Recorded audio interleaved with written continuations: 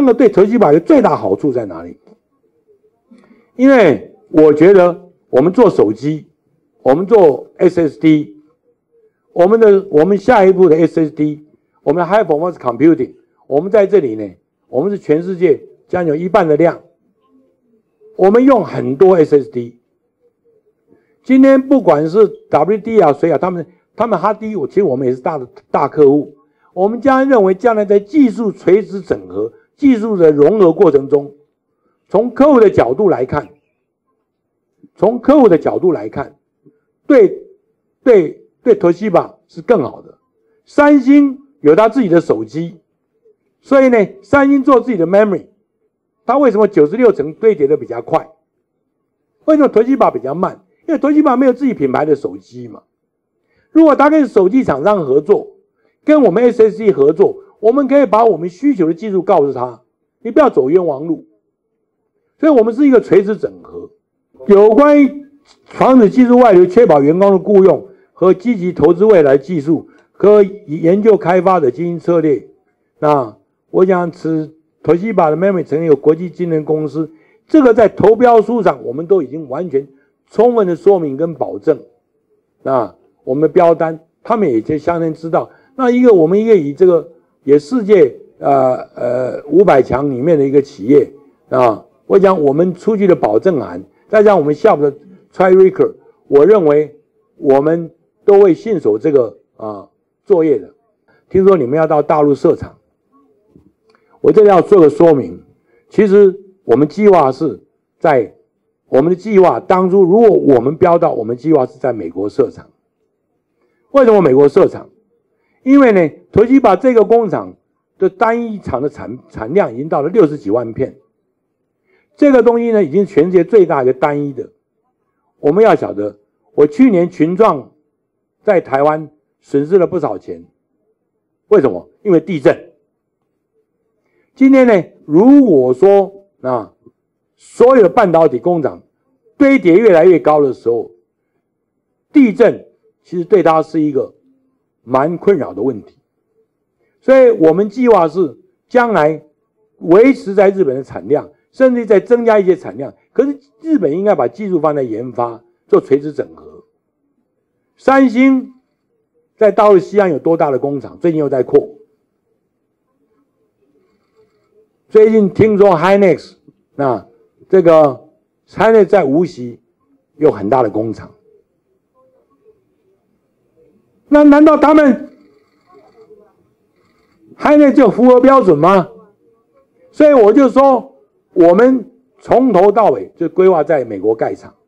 为什么在美国盖厂？因为呢，美国有最新的人才，美国有市场。我们研究过美国将来市场的需求的占有率，呃，需求量的成长。美国现在用光 SSD 跟 memory，因为美国做手机的不多。做 SAD 比较多，跟下一次将来这互联网汽车，它的从将来的成长率来看，美国目前现在自给自足的供给只能供给美国需求用量的百分之十六，啊十四，就百分百分之八十六呢，要依赖从进口。那进口呢，不过从韩国，因为这目前就韩国跟日本两个，当然美国政府现在正在。要讲平衡美日贸易的逆差，要平衡美日的贸易逆差，我觉得把这个囤积吧，如果说能够，我当然我希望这个能够安倍首相能够见能够见到这个新闻，哎，那你到那边盖一个厂，你日美日美美国的关系也会更好了，对，建一个工厂，哎，是囤积吧去盖的工厂。全世界半导体最好的技术人才、封装的人才都在美国，设计的人才、SSD 的人才、Cloud 的人才，不管是美国所有最大型的云端网络公司都在那里。那再到美国去盖，一方面可以分散地震的风地震的风险；第二，不能把所有的工厂盖在一个地方；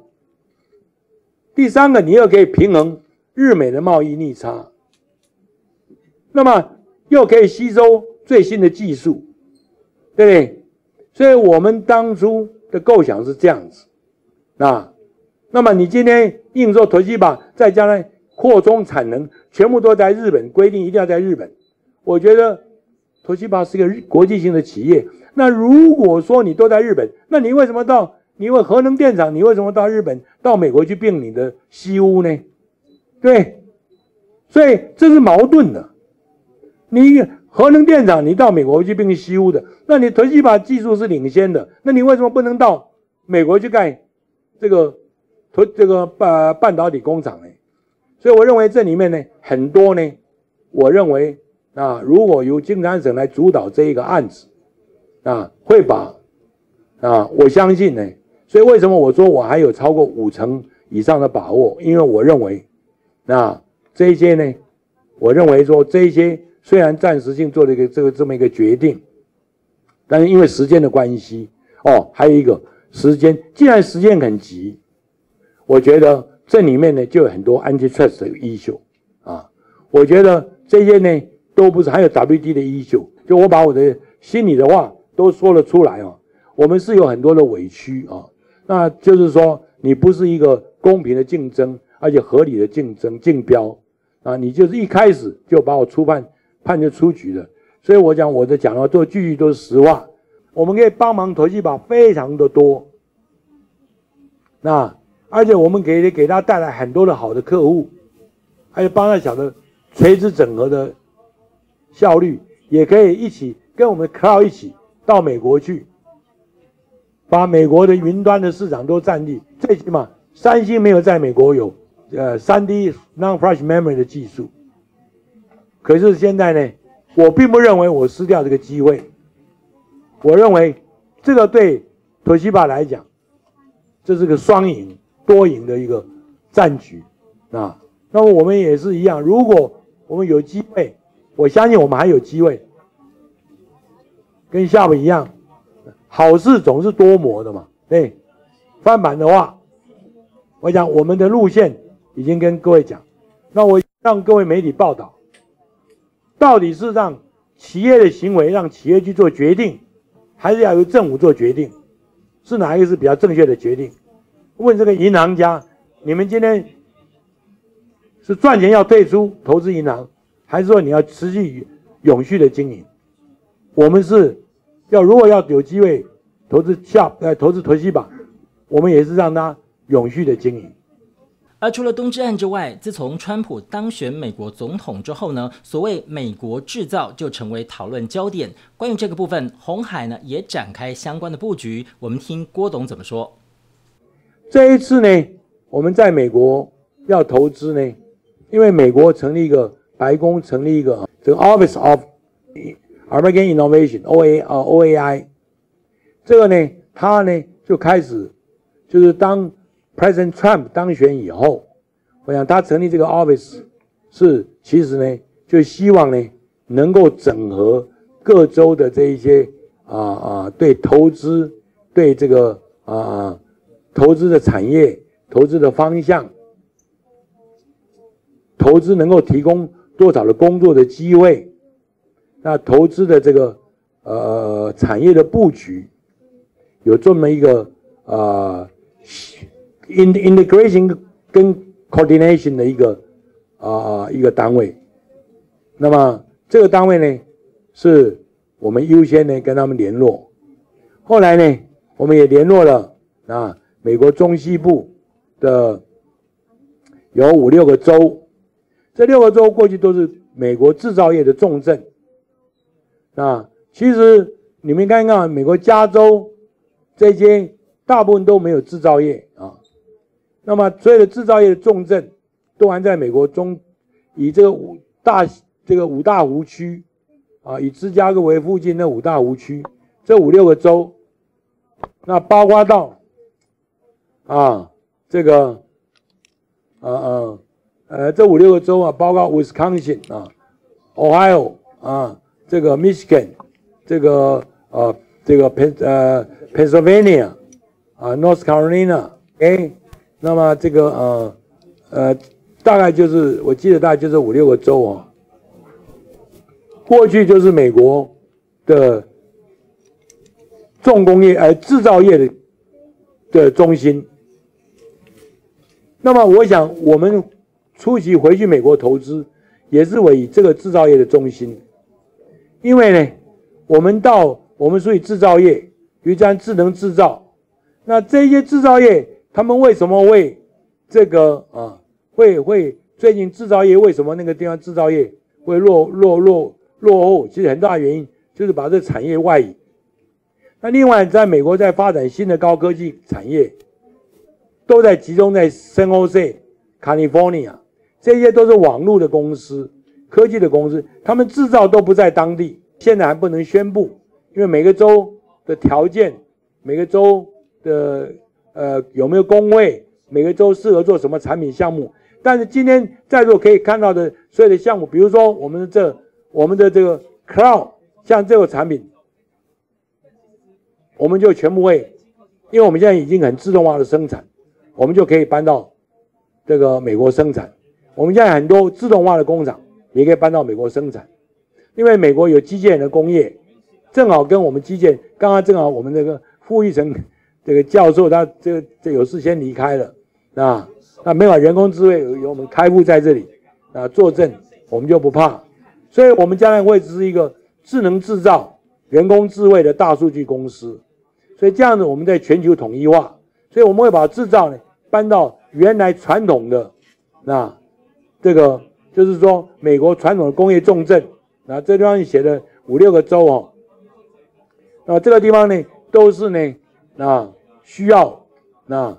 这个有把制造业重返他们那里，那有很多像很多大的电视搬来搬去，其实并不划算。我们在当地可以就地生产，那我们不是只有在那边只做一台一个电视机工厂，我们把全产业链。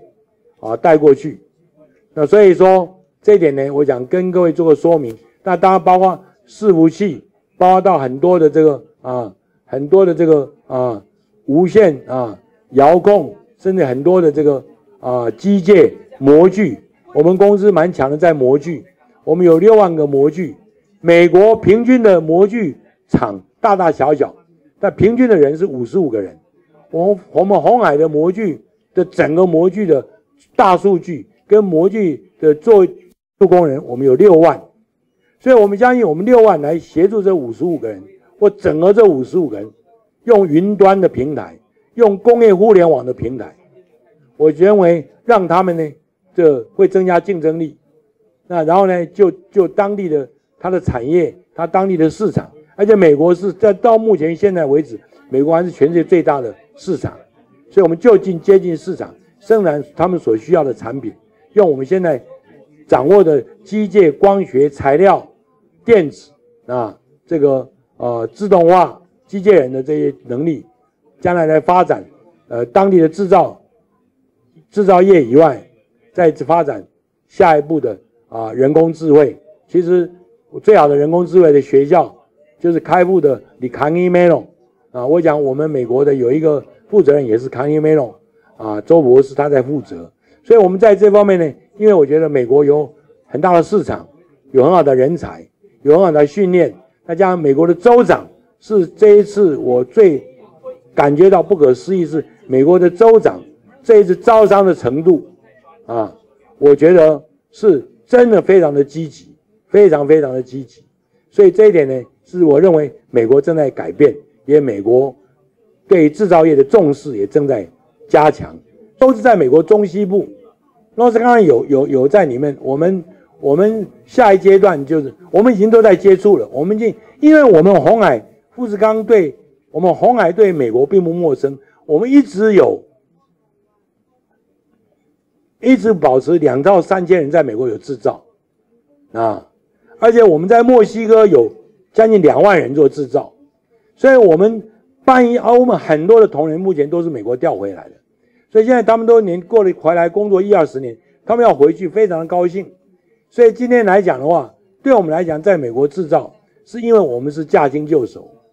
今天到美国制造，绝对不像在大陆制造，很多组装的工人这是不可能的，因为美国薪水那么高，一定要有 automation，一定要有非常多的这种这个机械人，甚至要有很多的智能制造。所以我们搬回去是下一代的智能制造。绝对不是现在传统的智能制造，所以为什么我在讲说，完再加上跟着云端网络的结合，啊，那能够全球管控，所以这个东西现在我那至于人数来讲的话，我讲美国在精而不在多，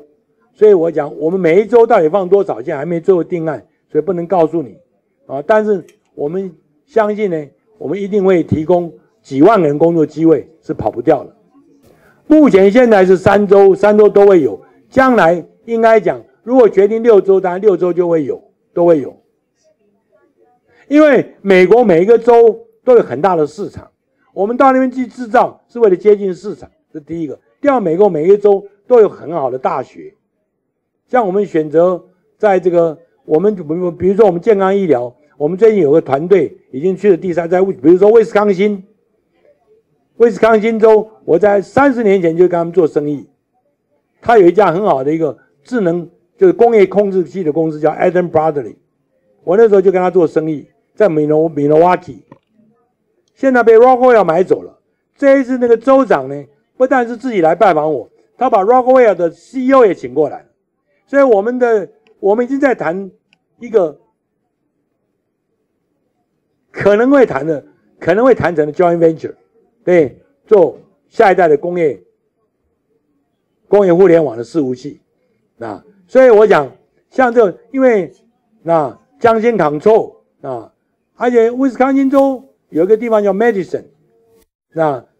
我们台大癌症医院的郑院长原来就是出生于 Medicine。Medicine 的的医疗健康是非常的发达。我们最近才去了十八位那博士跟医生去那边考察，就发现到他们的医疗。所以我们现在在那边引进很多的健康医疗跟健康大数据，那希望把它引进到。我们台大癌症医院，所以我发现到到美国去投资是可以说啊，跟日本投资是不同的。日本在制造业有很多投资，又在发展下有很多很好的工程师；在美国有很多很好的创新工程师，有很多新的材料工程师，有很好的在基础工程师，有数学。所以美国在在在在 Wisconsin，它的在工业机械、在自动控制，在这个。呃，在这个新的材料、新科技的材料化学，甚至在医医疗、生化、基因，这个在美国都是排名前几名。他学校好，这个呃呃，离芝加哥只有一两个小时的时间，所以这是我们现在考虑的地方之一。我们在考虑 Ohio，外的 Columbus 那个地方也是有。过去你各位晓得，全世界收银机的最大 NCR，NCR 总部。就在 Columbus 边上的 Day Dayton，所以他们有有有有这一 NCR 有很多。那滨州滨州有这个 Harrisburg，这个有这个呃 Pittsburgh 的 Carnegie m e l o 还有很多的这个过去钢铁，所以模具机械，我觉得那个地方都非常强的实力。我们不敢讲我们一定技术超过他们，但是我们去可以带动一些新的观念，这是一个垂直整个观念。所以我们去不是只盖一座工厂，是希望盖一个在几个州遍布的时候，我们要把全产业链都能够在那边重新布局起来。如果全只有一个工厂，成本是没有竞争力的；如果全产业链带起来，这个地方会有竞争力的。我现在就只能说比这更多啊，知道吗？可能会超过十个 B 点都会啊，因为我们是个全产业链啊。但这不是一年的 program，这可能是一个。五年的 program，OK，是美国的加州，他制造都不在他手上，所以他就到亚洲来了，所以我们来去做整合，所以今天我们要把整合的制造业，就是最后是整合加州的技术、云端网络的技术、人工智慧的技术、自动化 automation 的技术，然后，然后再整合到。他传统的重重症，他的基础在那里，他的学生在那里，他学校在那里，他的人才都在那里。那再加上他会给技工仿照德国的一个培训，所以我认为说这一点，我讲过，Trump effect 是什么？是让每个州长非常的积极，那来招商，来跟你坐下来谈，而一谈都谈一天两天，以州长之尊。亲自带着相关的单位跟你谈，每一个谈这个相关的条件，跟过去总统时代是几乎是一百八十度的不转呃转弯，所以我认为这个东西对于全世界各地大家要发展经济来讲，应该是一个竞争啊，应该因为它的招商的竞争对全世界都应该是一个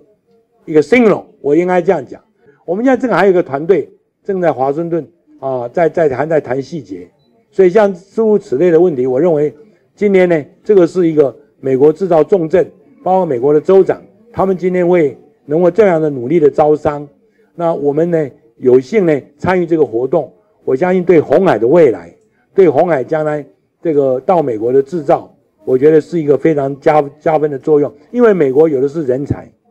美国有的是土地。美国的水电比日本便宜太多了，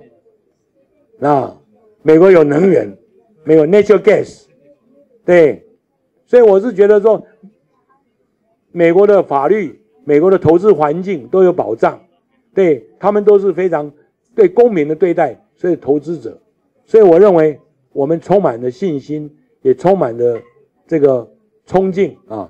那这个案子呢，我们现在已经正式启动，那完。下面要怎么做？我们拭目以待。但是我们很快的会签约，很快的会在今年来动土，啊，很快的来啊，从简单的先，我们能够搬过去的先过去。但是有一点非常重要，人工智能，包括机械人，这绝对是我们啊重点。至于红海入主夏普之后，夏普在未来有什么样的转型计划呢？我们现在在开放员工认股。我们希望改变那个制度，让员工跟红海员工一样，大部分都有股票。啊，我们现在呢上东正一步，我们就最近在好像戴上长已经宣布了一些哦，这动作都全部在做。我们想用 Sharp 做一个范例，百年老店怎么样转型，让外国人进来投资，协助他转型成功，再交还给。这个日本人去经营啊，因为我们是个国际性的公司啊，Sharp，我们名字没有改，logo 没有改，大部分的生产人员都没有变。我们就要回到东正一步以后，再经过几年的训练，我们要多培几，我们跟戴社长商量，多培几样竞争对手，让他们竞争啊，谁有能力，谁就接任，不讲年资。啊不讲年资，不讲关系，啊这个完全讲你对公司的贡献啊。所以我讲，我们现在改变这个制度，然后让员工呢分红入股。我们是希望将来赚的钱，比照红海一样，都拿出百分之三十给员工来来分红。我希望这个东西也能够变成一个日本的。企业转型的一个标杆，也叫做校标杆吧，校 index 也可以。以上是 Money DJ 记者张颖中为您整理出有关红海股东会跟会后记者会郭董谈话的重点内容，感谢您的收看。